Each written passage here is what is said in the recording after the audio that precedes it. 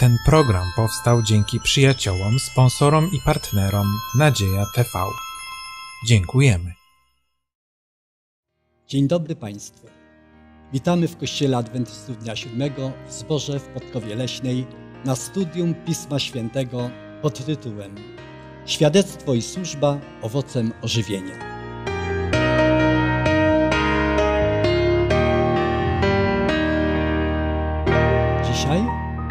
Dyskutować będziemy w towarzystwie Janusza, Mieczysława i Władysława, a ja mam na imię Zdzisław. Jako, że będziemy studiować Pismo Święte, to nie wyobrażamy sobie, aby inaczej to rozpocząć, jak z modlitwą. Dlatego zapraszam kolegów moich, jak również Państwa, do modlitwy i bardzo proszę Władysława, aby się z nami pomodlił. Nasz wielki, dobry Boże, dziękujemy Ci za tą chwilę, w, którym, w której Twoje słowo możemy otworzyć i studiować, co masz nam do powiedzenia, szczególnie na temat zbawienia. Dlatego, że studiować będziemy Twoje słowo, chcemy go właściwie rozumieć, tak jak przekazane. I dlatego prosimy o Ducha Świętego, niech wpływa na nasz umysł, jak również na umysły naszych miłych słuchaczy, aby to było wszystko dla chwały Bożej, dla zbawienia tych, którzy słuchają i aby Słowo Boże było przyjęte tak, jak zostało napisane. Prosimy o to i za to dziękujemy w Jezusie Chrystusie, naszym Panu. Amen. Amen. Proszę Państwa, przeżywamy czasy, w których następuje renesans religii. W wielu religiach postępuje ożywienie, religii w islamie, religiach wschodu, a w zachodnim chrześcijaństwie doświadczamy procesu laicyzacji, czyli zeświadczenia. Ludzie odstępują od swoich przekonań religijnych, spychają religię na margines życia.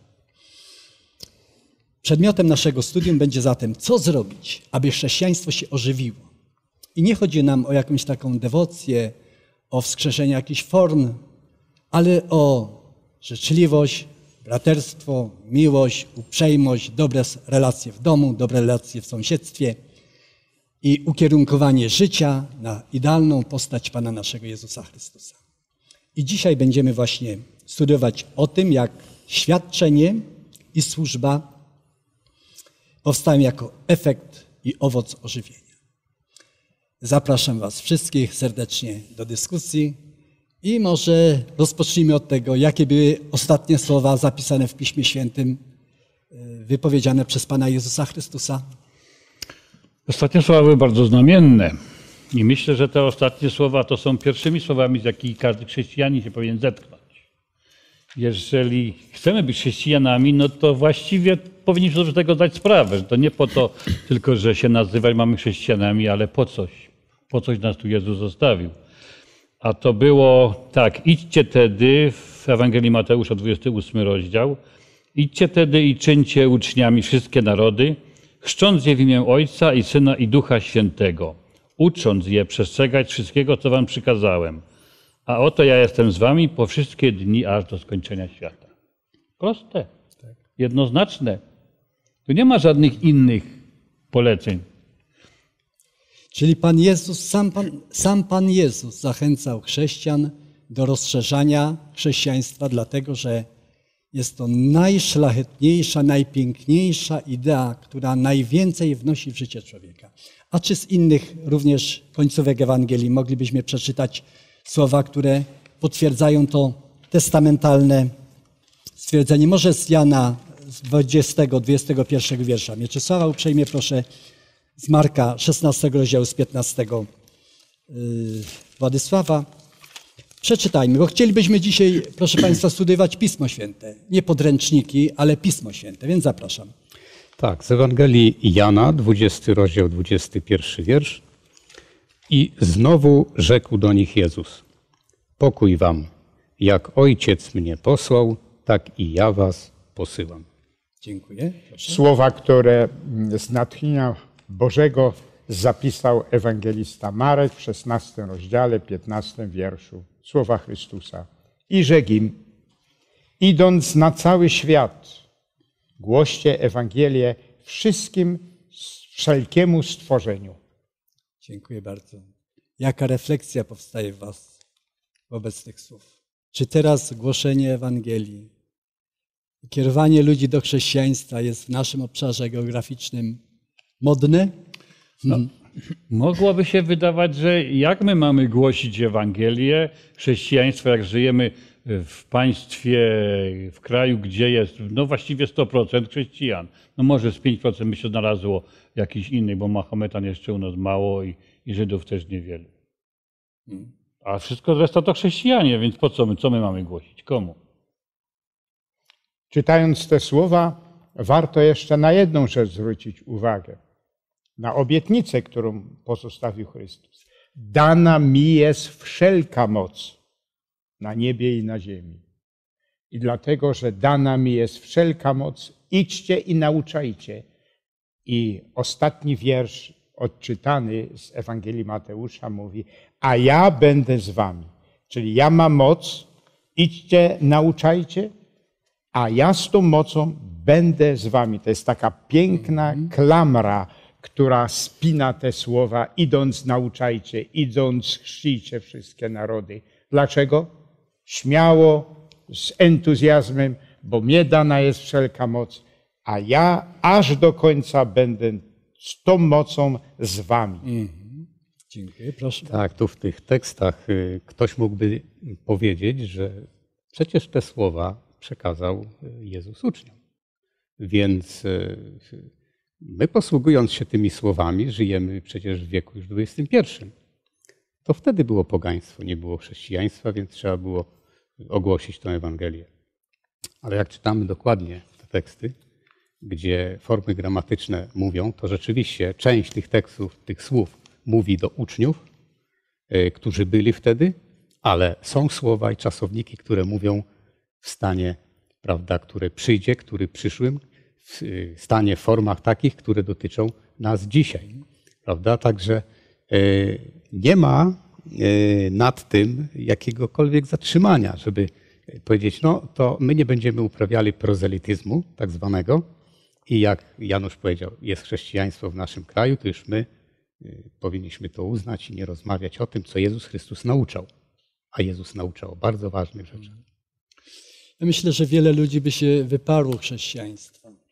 Powstają nawet starosłowiańskie religie, dlatego że ludzie są zniechęceni chrześcijaństwem. Dlaczego? No, bo my wiemy, jaka jest historia. Ciężka historia chrześcijaństwa. I wiemy też, jak w praktyce nieraz chrześcijaństwo wygląda, ale chcielibyśmy właśnie ożywienia, prawda? Wrócenia do tych źródeł, do tych źródeł biblijnych, żeby to było żywe i piękne chrześcijaństwo. Czyli nawet trzeba powiedzieć, nie ewangelizować ani pogan, ani chrześcijan jakichś innych kościołów, może bardziej nominalnych, ale nasz kościół, adwentystów, wymaga ewangelizacji. My sami, my musimy codziennie, codziennie yy, karmić się Słowem Bożym, jeżeli chcemy żyć, bo inaczej to, to umieramy i stajemy się jak poganie. No. Ożywienie się zaczyna od nas. Od siebie. Od nas. I trudno rzeczywiście świadczyć o Jezusie Chrystusie, jak się nie żyje nauką Jezusa Chrystusa. Ale popatrzmy na tą kwestię w ten sposób. Zadanie było niesamowite, ale piękna obietnica wsparcia tych dwunastu czy też 120 pierwszych chrześcijan, jak mamy w dziejach apostolskich 1.15 przedstawione. 120. Ale zostali wsparci mocą pochodzącą od Ducha Świętego. I powiedzmy sobie, udało się tym chrześcijanom pierwszych wieków wykonać zadanie Chrystusa? Jak najbardziej. Historia chrześcijaństwa potwierdza, że pod koniec I wieku już w Imperium Rzymskim było mnóstwo chrześcijan, nawet możemy powiedzieć, większość nawet chrześcijaństwo docierało na, na, na dwór cesarski. Także pełny sukces. Zresztą e, w momencie, gdy otrzymali Ducha Świętego w dzień Pięćdziesiątnicy, apostoł Piotr wystąpił i wygłosił jedno kazanie. Trzy tysiące dusz się nawróciło, trzy tysiące ludzi zaakceptowało Chrystusa i zawarło przymierze przez chrzest z Nim. A potem pięć tysięcy, a potem wielkie tłumy, a potem czytamy w dziejach apostolskich, że każdego dnia Duch Święty dodawał do tych zborów. Apostoł Paweł, e, przepraszam, apostoł Piotr w tym wypadku wygłosił jedno przemówienie, trzy tysiące ludzi się nawróciło, a dzisiaj trzeba odwrotnie, czasem trzy tysiące kazań wygłosić, żeby do jednego człowieka to dotarło. Ale to wszystko dokonywało się nie w mocy tych ludzi, ale w mocy Ducha Świętego. Dlatego mówimy o ożywieniu reformacji, o powrocie do tych pierwotnych rzeczy, aby w tej samej sile świat był no, schrystianizowany, aby, aby zewangelizowany, aby był przygotowany na powrót Jezusa Chrystusa. Tu chciałbym jedną rzecz zauważyć, że e, uczniowie byli cały czas z Chrystusem przez ten okres Jego służby. Oni e, widzieli życie Chrystusa. E, widzieli to, co mówił, że to było prawdą. Widzieli, że miał moc, widzieli, jak zmartwych zbudzał, widzieli, jak uzdrawiał. Dużo rzeczy widzieli. Chrystus im pokazał to. Widzieli, jak się modlił, odchodził na osobność i tak dalej. I to jest bardzo istotne. I teraz, gdy ktoś kogoś widzi, że e, żyje zgodnie z tym, co mówi, to jest bardzo istotne, dlatego że Chrystus po zmartwychwstaniu, jeszcze czytamy, że 40 dni spotykał się z uczniami. Jadł z nimi posiłek i tutaj, jak mówiłeś Dzisławie, przeczytajmy tekst, bo jest to bardzo ważne.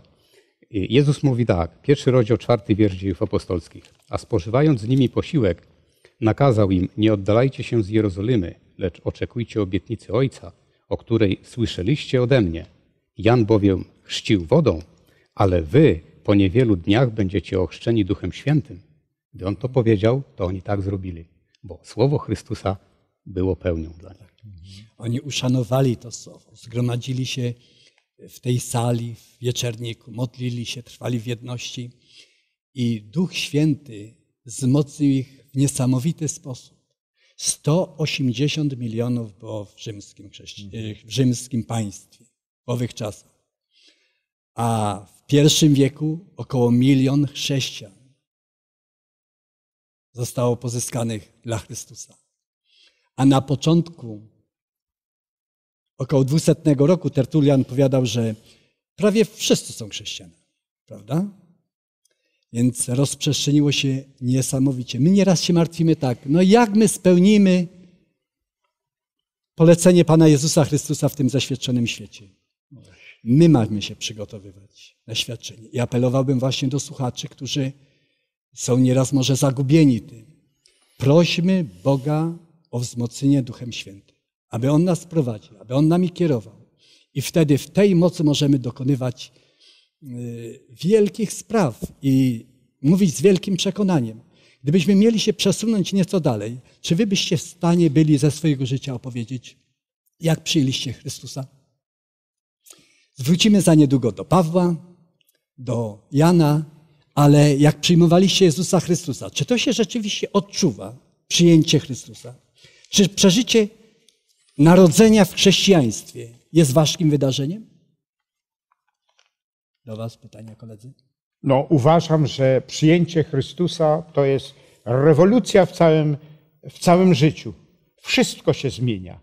Inaczej patrzymy na świat, inne priorytety dla nas są ważne i jedno jest tylko istotne, abyśmy cały czas byli w łączności przez modlitwę, przez studiowania Słowa Bożego z Jezusem, z Jezusem Chrystusem. I kolejna rzecz, o której chcemy dzisiaj szczególnie podkreślać, no nie potrafimy o tym mówić. No, cały czas mówimy. Czy słuchają mnie raz i nie słuchają? Czy widzimy efekty? Czy nie widzimy już jednorazowych efektów. To cały czas to jest jeden temat, który, który jest w naszych sercach, w naszych umysłach. To jest efektem przyjęcia Jezusa Chrystusa. Dziękuję. A ty, Mieczysław, miałeś takie przeżycia? To znaczy, ja miałem takie przeżycia, e, że gdy dotarła do mnie Ewangelia, e, ja wcześniej pragnąłem Boga. Mhm. Szczerze pragnąłem, ale pragnąłem e, w otoczeniu takim, jakie znałem i w wiedzy takiej, jaką miałem. Ale gdy dostałem Biblię do ręki, gdy słyszałem Słowo Boże, to pamiętam taki moment w Krakowie, gdy byłem na kazaniu. Wystarczyło dla mnie, y, to nie było kazanie, to był wykład. Wykład na temat przyjścia Chrystusa. Nie będę mówił dzisiaj, kto ten wykład wygłaszał, ale ten jeden wykład sprawił tyle, że za mną coś chodziło po prostu. Moc Ducha Świętego była tak olbrzymia, że ja nie mogłem uciec, a uciekałem przed Bogiem. I to wiele razy. A Pan Bóg szedł za mną i wreszcie dostał mnie. A potem inne wydarzenia były. Ale to jest cudowne, kiedy to w życiu mamy i potem y, za każdym razem, kiedy są trudności, kłopoty, olbrzymie problemy czasami bywają w życiu, to jednak Bóg nam przypomina wszystkie te etapy, te wszystkie momenty, kiedy na nas działał. Nie ma mowy, żeby po prostu powiedzieć, Panie Boże, ja już wysiadam. Nie. Moc od Boga jest tak silna, że po prostu zdalnia nas do życia. Popatrzmy, jak właśnie wspomniani apostołowie przeżywali swoje nawrócenie. Zwróćcie uwagę, że Łukasz w dziejach apostolskich trzy razy opisał nawrócenie apostoła Pawła. Ja wyobrażam sobie, że Paweł często się odwoływał do tego. Tam była jego moc, jego siła. Jeżeli my spotkanie z naszym Bogiem przeżywamy głęboko, autentycznie, to my inaczej to opowiadamy. Przeczytajmy chociaż jedno takie opowiadanie, bo mamy w dziewiątym rozdziale, w dwudziestym drugim, w dwudziestym szóstym, prawda? Spróbujmy sobie to wyobrazić. Więc może ja przeczytam. W drodze, gdy zbliżałem się do Damaszku, nagle około południa otoczyła mnie wielka jasność z nieba. Upadłem na ziemię i posłyszałem głos, który mówił do mnie: Szawle, szawle, dlaczego mnie prześladujesz? Kto jesteś, panie? Odpowiedziałem. Rzekł do mnie: Ja jestem Jezus Nazarejczyk, którego ty prześladujesz. Towarzysze moi widzieli światło, ale głosu, który do mnie mówił, nie słyszeli. Powiedziałem więc: Co mam czynić, panie? A pan powiedział do mnie: Wstań, idź do Damaszku. Tam ci powiedzą wszystko, co masz czynić. Ponieważ zaniewidziałem odblaskowego światła, przyszedłem do Damaszku prowadzony za rękę przez moich towarzyszy. Niejaki Ananiasz, człowiek przestrzegający wiernie prawa, o którym wszyscy tamtejsi Żydzi wydawali dobre świadectwo, przyszedł, przystąpił do mnie i powiedział: Szawle, bracie, przejrzyj. W tejże chwili spojrzałem na niego, on zaś powiedział: Bóg naszych ojców wybrał cię, abyś poznał jego wolę i usłyszał sprawiedliwego i jego własny głos usłyszał. Bo wobec wszystkich ludzi będziesz świadczył o tym, co widziałeś i słyszałeś. Dlaczego teraz zwlekasz? Ochrzcij się i obmyj się z twoich grzechów, wzywając jego imienia. Było poruszające, niesamowite. Ale zdarzenie. to świadczy o tym, że Paweł w oczach Bożych musiał być bardzo cenny. I Bóg w taki radykalny sposób z nim postąpił i tak e, zrobił to e, no, dosyć zdecydowanie. W moim przypadku tak nie było. Pewnie no, no nie, na pewno nie było, nie miałem takiej wartości w oczach Bożych, a nie mam jak Paweł. To było, tak bym też powiedział, że przed Bogiem często uciekałem. I to takie są przeżycia, które jakby się poskładało wszystkie razem, to by też pewnie wyszły na wielkie, e, na wielkie przeżycia. Ale tak, Bóg okazywał wielką cierpliwość w stosunku do mnie, zanim faktycznie mogłem, mogłem, e, mogłem, ale czy mogę do końca? Ja się przekonałem, że nigdy nie mogę do końca powiedzieć, że tu, gdzie jestem, to jestem i nic mnie nie zdoła e, już e, zniszczyć ani zachwiać. Naprawdę przekonałem się o tym, że jestem człowiekiem słabym i że często upadam. A Bóg przez swoją cierpliwość posyła takie doświadczenia, że mnie ciągle z tego wyciąga, wyprowadza i ratuje. Za to jestem mu niezmiernie wdzięczny. Każdy dzień to jest nowa karta życia. I każdy dzień należy polecić Bogu. Nie liczy się wczoraj, liczy się dzisiaj. Pan Bóg zawsze apeluje o dzień dzisiejszy. Ale nie zgadzałbym się całkiem z tym, co powiedziałeś, że Paweł to miał wartość. Bo tak myślałem sobie. Przecież tylu ludzi prześladowało chrześcijan w owych czasach. Czemu akurat Pan Bóg y, do Pawła przyszedł. Ale jakie to słowa? Pawle, czemu mnie prześladujesz? Kto ty jesteś, Panie? Prawda? To jest niezwykle poruszające, ale mam przeświadczenie takie, że w sumieniu Pawła coś się tam działo. On już, on już był poruszony. Pan Bóg nad nim pracował nie w drodze do Damaszku, a może już na początku drogi do Damaszku, może już przyszczepanie, ale jestem pewien, że do każdego serca jest inny klucz. I Pan Bóg ma te klucze i do tych serc otwiera. Do ciebie w ten sposób, do innego w drugi sposób. Nie możemy mówić, że o, my nie doznaliśmy takiego nawrócenia jak Szaweł. Ale niech skutek będzie taki jak nawrócenie Szawła, żeby świadczyć o Jezusie Chrystusie. Tam jeszcze jedna rzecz w tych e, tekstach biblijnych, na którą warto zwrócić uwagę. Jak Chrystus do niego powiedział: Saulu, czemu mnie prześladujesz? No to co chcesz, abym czynił, e, panie? E, że no, moglibyśmy pomyśleć, że teraz Chrystus usiadł z Pawłem, no i tłumaczył mu po kolei całą prawdę o zbawieniu. Nie, Mówi, idź do Damaszku.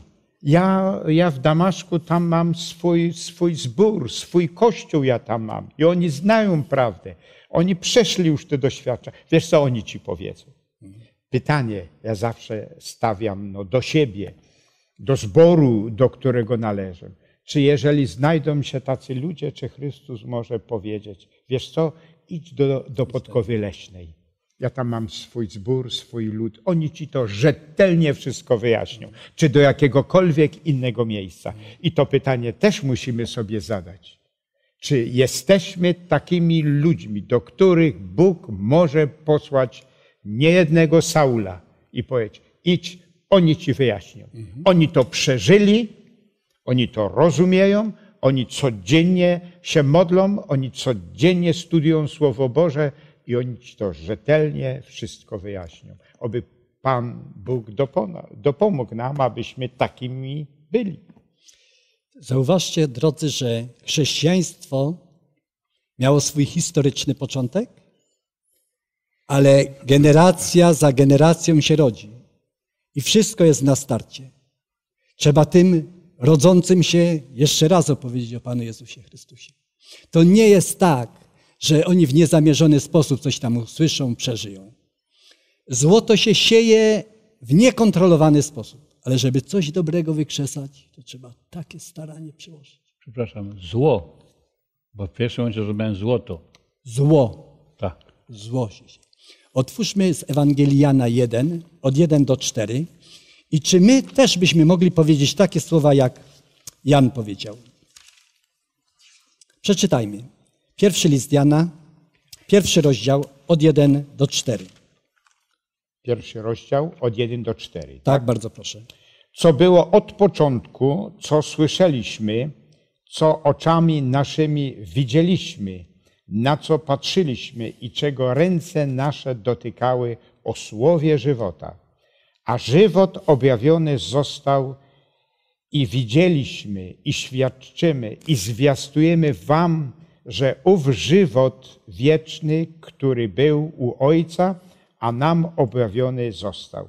Co widzieliśmy i słyszeliśmy, to i wam zwiastujemy, abyście i wy społeczność z nami mieli. A społeczność nasza jest społecznością z Ojcem i Synem Jego Jezusem Chrystusem. A to piszemy, aby radość wasza była pełna. Czy dotykaliście Pana Jezusa Chrystusa w swoim życiu? Czy widzieliście Go? Tak jak Jan, na pewno nie. A inaczej? Ale dotykaliśmy Go idąc przez życie, tak mi się wydaje. Mhm. E, przez doświadczenia.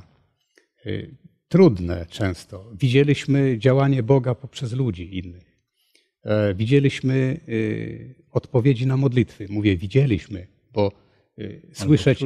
Tak, albo bo czuć, a słyszeć to mogliśmy wiele razy coś, ale widzieć to, bo e, widzieć to znaczy, gdy mamy jakieś potrzeby, widzimy, że to się dzieje.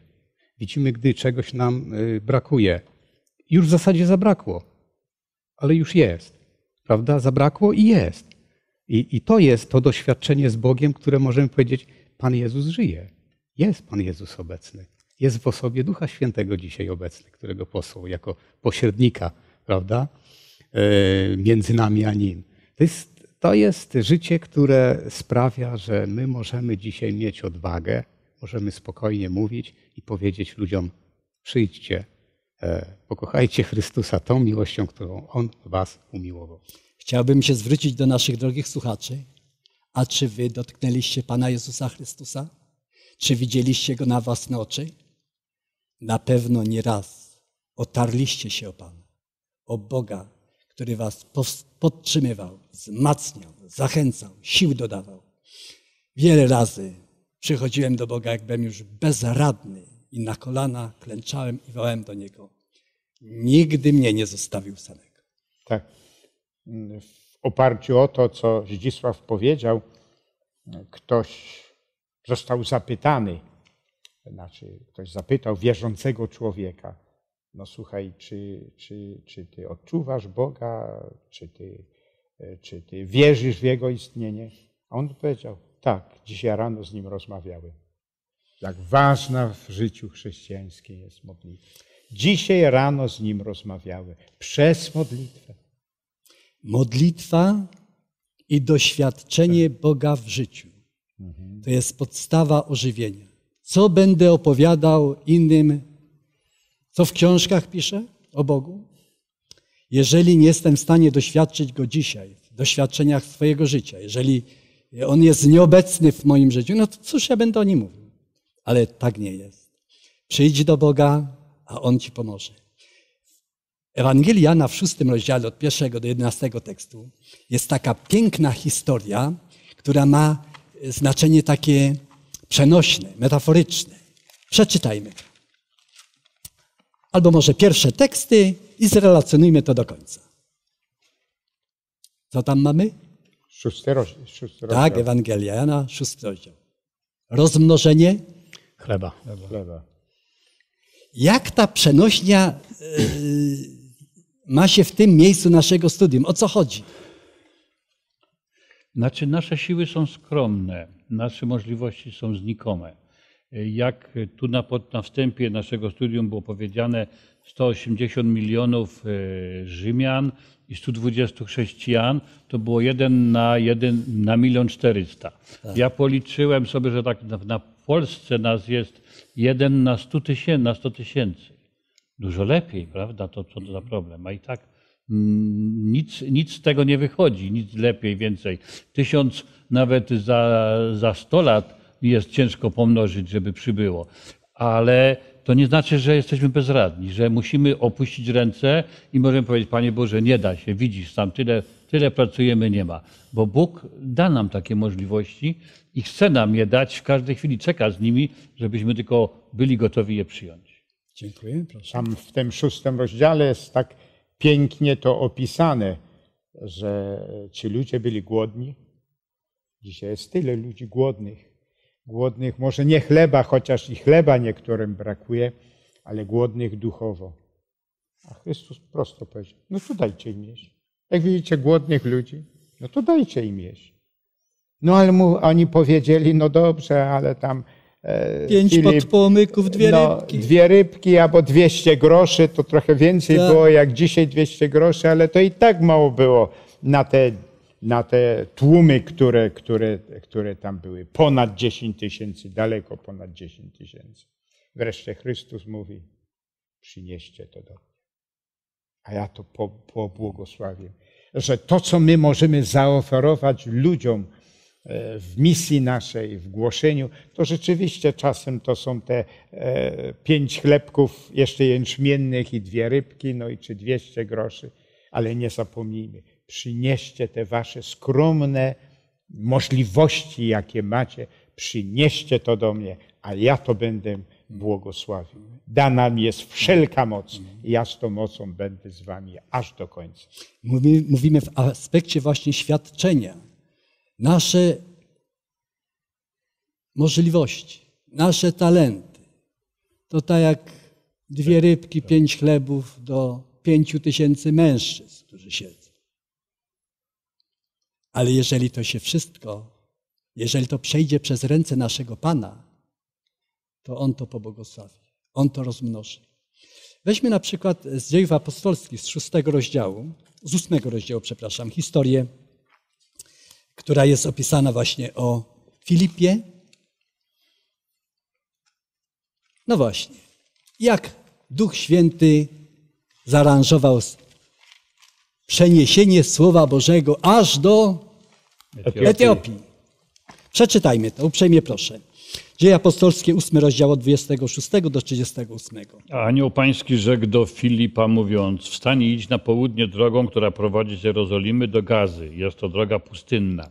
I powstawszy poszedłem, poszedł. A oto Etiopczyk, eunuch, dostojnik królowej etiopskiej Kandaki, który zarządzał jej wszystkimi skarbami, a przyszedł do Jerozolimy, aby się modlić, powracał, a siedząc na swoim wozie czytał proroka Izajasza. I rzekł duch Filipowi, podejdź i przyłącz się do tego wozu. A gdy Filip podbiegł, słyszał, jak tamten czytał proroka Izajasza. I rzekł, czy rozumiesz to, co czytasz? Ten zaś powiedział, jakżebym mógł, jeśli mnie nikt nie pouczył? I poprosił Filipa, aby wsiadł i zajął przy nim miejsce. A ustęp pisma, który czytał, był ten.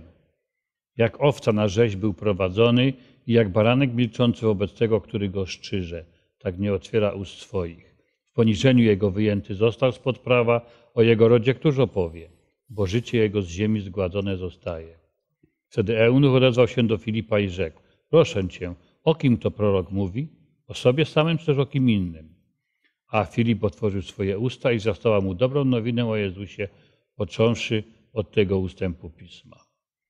I tak dalej, aż go zatrzymał wóz, ochrzcił go i znowu z powrotem poszedł. I Filip został przeniesiony w inne Tak. miejsce. Proszę Mnie bardzo. zawsze interesuje inicjatywa Boga wobec, wobec ludzi, no bo Bóg stworzył człowieka. E, Warunki mu wszelkie stworzył. Jak przyszedł na świat w osobie Jezusa Chrystusa, to popatrzmy, że cały czas ludzi uczył. Uczył wiary, e, uczył szacunku do pewnych rzeczy, nawet w tym rozmnożeniu chleba, prawda? E, Pokazał, że, że chleb jest darem Boga prawda? Że za chleb trzeba dziękować, że jak zostanie, trzeba wiedzieć, co z tym zrobić, bo zebrali kosze tego chleba, tak. A więc y, jest to bardzo istotne. Tak samo i tutaj widzimy w przypadku Filipa. E, Filip jest blisko Boga, bo tu widzimy tak, rzekł anioł, rzekł Duch Święty. Tu widać relacje mają miejsce, prawda, pośród tych osób. No i gdy są te relacje, to Kościół jest y, wtedy y, otwarty na wszelkie działania y, dla świata i tak dalej. Nic Kościoła nie może powstrzymać przed tym, co ma do zrobienia w tym świecie. Stąd Kościół został powołany do głoszenia Ewangelii, do przekazywania najlepszych rzeczy, ale nie tylko teoretycznie. Tak. Bo jeśli tylko to będzie teoria, to wcześniej czy później ludzie się zorientują, że to jest teoria. Mhm. Warto też podkreślić, żebyśmy pozwolili się Duchowi Świętemu prowadzić. On miał iść do misji. Tam tłumy ludzi prawdopodobnie czekały. Tam może zbory już były chrześcijańskie. A Duch Święty go skierował na drogę do Gazy i spotkał jednego człowieka. No, można by powiedzieć, no chyba pomyłka jakaś.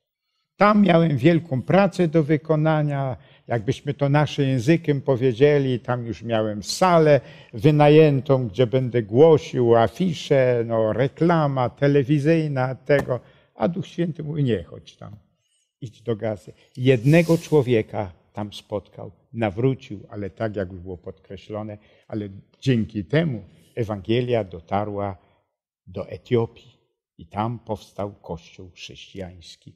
A więc też jest ważne, abyśmy w tej pracy pozwolili, aby Duch Święty nami kierował, a nie nasze koncepcje czy nasz program. Gdybyśmy mieli już zamknąć naszą lekcję jakimś jednym sumującym stwierdzeniem, tak myślę właśnie, e, pytanie do Janusza chciałbym skierować. Po czym poznamy, że człowiek przeżył ożywienie? To jest pierwsze pytanie. Ale jeszcze wcześniej postawiam takie pytanie. Ożywienie zależy od Boga czy od człowieka? Mi się wydaje, że współpraca powinna. My powinniśmy być otwarci na Słowo Boże, na modlitwę, natomiast e, i prosić o to, a natomiast dziełem Bożym jest to ożywienie w nas spowodować. Ale Bóg, Bóg czeka, abyśmy pragnęli tego i byli otwarci na to. On to wtedy może dokonać, ożywić nas, no i przygotować nas do służby. Jakie Proszę. mogą być objawy ożywienia? No właśnie. Jak nie życie. Prawda? Czyli to nie trup będzie, czy omdlały człowiek, tylko człowiek żyjący. Żyjący to znaczy, że oddycha się, porusza, pracuje, je, czuje, słyszy, mówi. To są oznaki człowieka żywego. I on to wszystko będzie robił w jednym konkretnym celu. I w taki sposób, żeby Boga uwielbić. Mm, dziękuję tak. bardzo. Inicjatywa zawsze powstaje od Boga. Jakbyśmy tego nie chcieli. Ale człowiek tak. ma odpowiedzieć na to. Bóg mówi, kładę przed Tobą to i to. I często jego wypowiedzi są neutralne. Boskie wypowiedzi neutralne. No ale teraz ten tak zwany, jak my tu mówimy, homo sapiens, musi wiedzieć, czy to jest y, właściwe, czy nie, czy to należy przyjąć, czy nie, prawda? A druga rzecz, to co zadałeś pytanie, jakie są objawy tego. Ja myślę, że nie można żyć tylko pionowo. To znaczy karmić się, czytać, poznawać i mieć wiedzę, ale trzeba żyć poziomo, być dla y, drugiego człowieka, bratem, siostrą, pomocą w różnych y, typowych sprawach, które mamy w naszym życiu. Także ożywienie to nie jest taka wielka, euforyczna idea, ale to jest praktyka, która przekłada się na serdeczność, na życzliwość, na przyjacielskość, na troskę o drugiego człowieka, uwzględnianie innego człowieka w swoich planach. I to jest właśnie ożywienie. I dałby Bóg, abyśmy tak ożyli abyśmy się wzmocnili jako chrześcijaństwo. Jeszcze no ja chciałem tylko tą jedną myśl, że jeżeli to ożywienie stanie się naszym udziałem, czy będzie stawało się, bo to jest kwestia nie jednorazowego czynu, ale codziennego naszego życia, łączności z Bogiem, to nie potrafimy o tym, co przeżyliśmy, kim dla nas Jezus Chrystus, nie potrafimy zamilczeć, zamilczeć nie mówić o tak. tym. To jest, to jest według tego studium biblijnego i tych tekstów, któreśmy czytali, to jest oznaka, że jest ożywienie, że Jezus jest czymś szczególnym dla nas i nie potrafimy o tym nie mówić. Drogi słuchaczu, i od Ciebie zależy, jaki będzie ten świat wyglądał. Jak będzie ten świat wyglądał. Jak go zastałeś i jakim go pozostawisz. Chciałbym, abyśmy nasze studium zakończyli modlitwą i uprzejmie proszę Mieczysława do modlitwy. Wszechmocny, dobry i wiekuisty Boże i Ojcze nasz. Pragniemy Ci teraz w naszych skromnych słowach podziękować za studium Słowa Twego. Ale przede wszystkim, Panie, podziękować za zrozumienie tego, za zmianę życia, za to, że nasze umysły mogą być otwarte na innych ludzi. Pragniemy być ożywieni, ale pragniemy być ożywieni mocą Ducha Twojego Świętego. Nie z naszych uczuć, nie z naszych emocji, a nawet z naszej y, mądrości ludzkiej, by coś w tym zyskać, ale pragniemy ożywienia Twego. Pragniemy prawdy, wiary i życia ku chwale Twojej. Błogosław nas tutaj, jak jesteśmy, ale przede wszystkim prosimy o wszystkich ludzi na świecie, o to, co może nas łączyć w Chrystusie naszym Panu i w Jego prawdzie. W imieniu Jezusa dziękujemy Ci. Amen. Amen. Amen. Serdecznie dziękujemy słuchaczom za czas wspólnie spędzony na studiowaniu Słowa Bożego. Dziękuję kolegom za interesujące prowadzenie dyskusji. A Państwa zapraszam na następny wykład. W następną sobotę będziemy rozważać